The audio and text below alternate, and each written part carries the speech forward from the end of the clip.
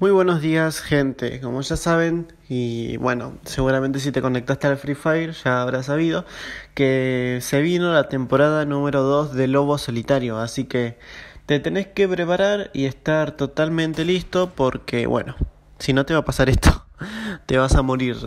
nada, nada mentira.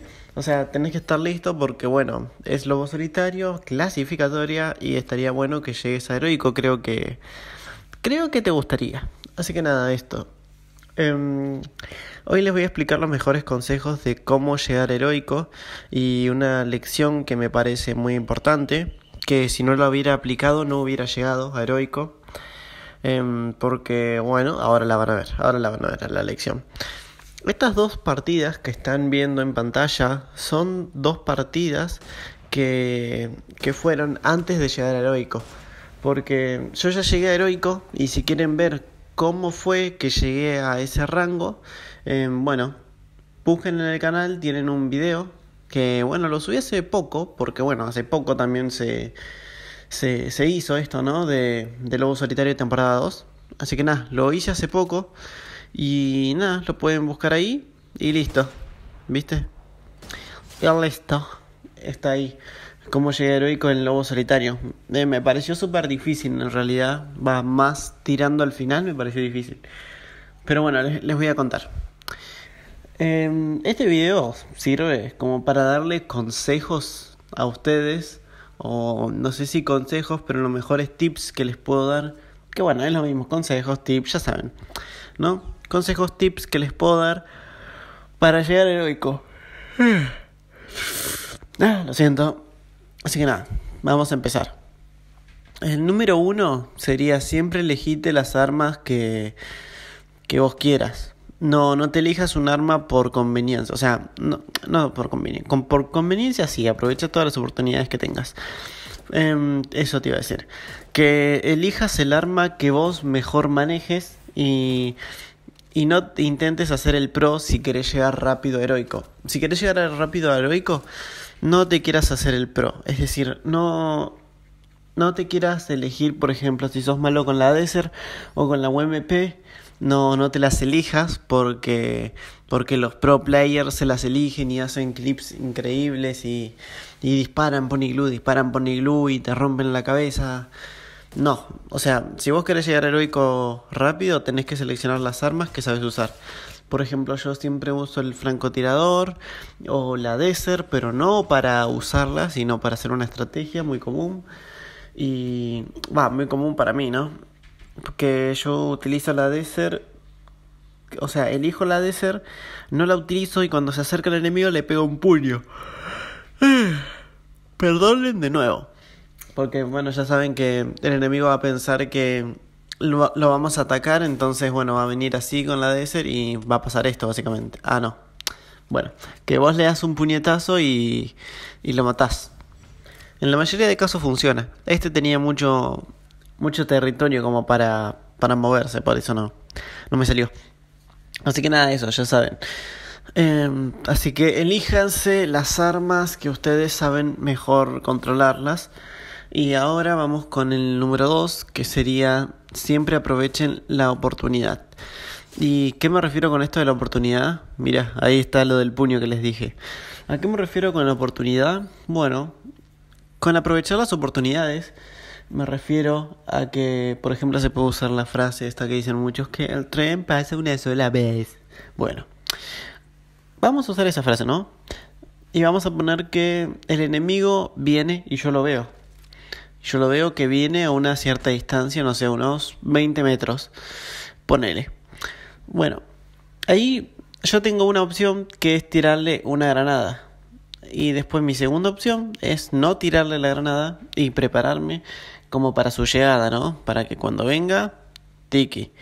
Bueno, yo les digo esto, si ustedes tienen una oportunidad de quitarle daño, no sé, que lo vieron así rápido y le quieren apuntar, y disparar, háganlo. O sea, si, si tienen la oportunidad de quitarle ya sea un poquito de vida, háganlo porque Porque el enemigo se va a sentir debilitado. Acuérdense que somos humanos y esto es muy psicológico. Si a vos ya te empiezan pegando, no va a ser lo mismo que empieces a full de vida. No solo eso, sino que estadísticamente también les vas a ir bajando la vida. Así que, nada, eso. Por ejemplo, yo siempre que puedo le les pego, ¿viste? Por ejemplo, ahí le quité 50 de un tirito, ¿viste? ¿Y por qué? Bueno, porque, porque pude. Porque tuve la. Porque tuve la suerte de que pude ahí. ¿Viste? Porque a veces pinta que, que el otro justo está posicionado como para que le pegues, ¿viste? Y le podés pegar rápido y volver. Así que nada, eso. Ya saben. Así que número uno, no se hagan los pros y elijan sus armas, las armas que ustedes saben controlarlas. Y el número dos es, bueno, el de recién. Que aprovechen las oportunidades. ¿Ves? Él aprovecha la oportunidad ahí. Así que nada, eso. Pero después queda otro más bueno, en realidad dos más me parece, que sería elegirte la habilidad que más te conviene y no pienses en lo que piense el otro de vos. Porque ¿qué pasa? A mí también ya me pasaba. Por ejemplo, yo no me quería elegir la habilidad del CR7, ese que te pone un domo, ¿no? Un tipo 360 grados. Perdón, perdón. Que te pone un domo tipo 360 grados y, y bueno, y te cubrís, ¿no? te cubrís de todas las balas a su alrededor. ¿Y qué pasa? Eh, uno capaz tiene, tiene esto que es un mal pensamiento, que te importa lo que el otro piense de vos. Entonces dices, ay no, yo no, no puedo utilizar el CR7 porque después el otro me va a llamar, me va a llamar noob, me va a llamar botcito, que tengo que usar esto para ganar. Pero vamos a la realidad. ¿Y cuál es la realidad? La realidad es que el juego tiene habilidades y el CR7 es una de las tantas habilidades.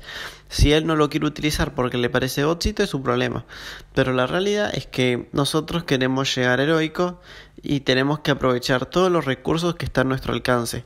Por eso me parece conveniente me parece conveniente utilizar el domo o la habilidad que mejor te parezca. La habilidad que mejor te parezca que te chetada, sin importante lo que empiece la otra persona de, de esa habilidad o de lo que hagas. Por ejemplo, a veces está bueno, a veces está bueno quedar separado simplemente. Quedar separado y que el enemigo te venga a buscar. Y sí, te estás escondiendo, sí, lo sé. ¿Y puede ser un poco sucio? No. Vos estás tratando de sobrevivir y tratando de lograr el bulla, que es el objetivo. Ahora, si el otro viene, es cosa suya, ¿o no? Así que nada, tienen que aprovechar eso, tienen que jugar como a ustedes les parezca mejor, ¿viste? Si... Así que nada, eso.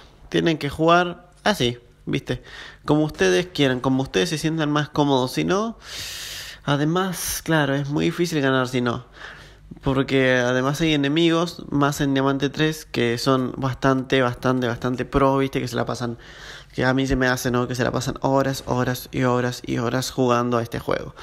Así que nada, de eso. A ver. Siguiente.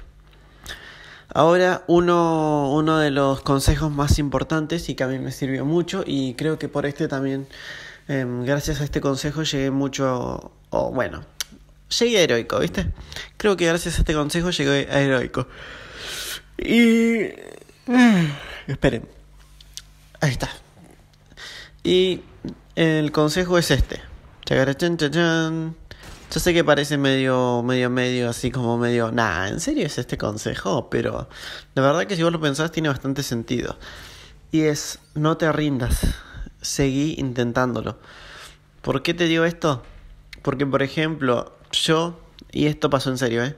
Yo estaba jugando a Free Fire Lobo Solitario clasificatorio para llegar heroico y no fue una subida constante de estrellas y de rango. No es que fui subiendo constantemente. Si bien es cierto que no tuve tantos problemas para llegar a diamante, porque platino, oro, así, o inclusive también diamante 1 y 2, ponele, no, no fueron de gran, de gran competitividad, digamos, o sea que sí lo tomé en serio y estuve al 100% ahí dándolo todo, pero lo que te quiero decir es que no, no me costó. O sea, no me costó tanto, sino que fui ganando partida tras partida, partida tras partida. Pero ¿qué pasa? Al momento que llegué a Diamante 3 y a Diamante 4, como pueden ver en estos videos, porque estos videos son clips que ya están grabados, son clips que, que bueno, les voy a hacer un spoiler, así que perdónenme. Y sí, en estos videos, como pueden ver, en la primera partida que jugamos, perdimos. Y en esta partida, ¿saben qué va a pasar? Sí, también perdemos. Así que, dos partidas, perdimos ya.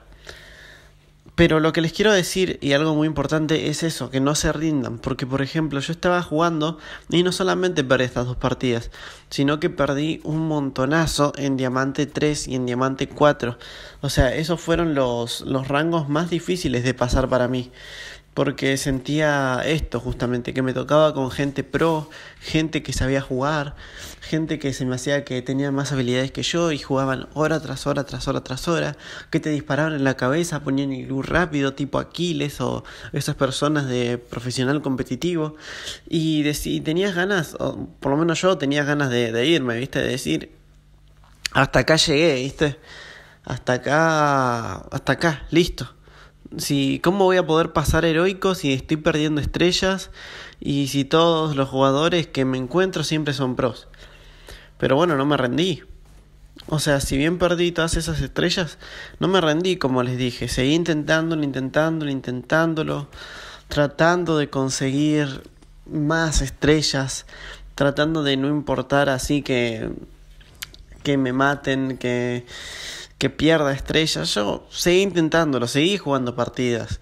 Y me tomó como unas 3 horas pasar de platino a, a heroico, más o menos. Que es bastante para mí. Bastante.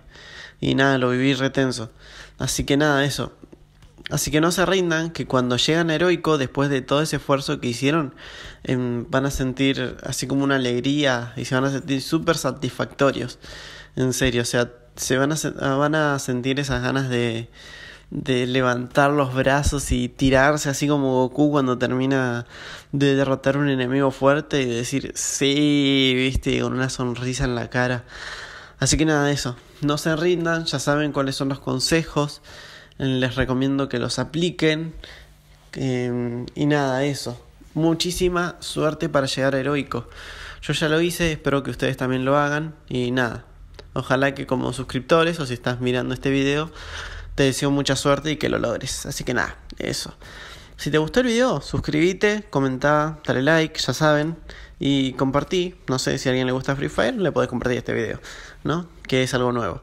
Así que nada, espero que te haya gustado en serio. Si me querés hacer una donación, te dejo el link en la descripción de este video. Así que nada, eso. Nos vemos en el siguiente video de Free Fire. Chau, chau, gente.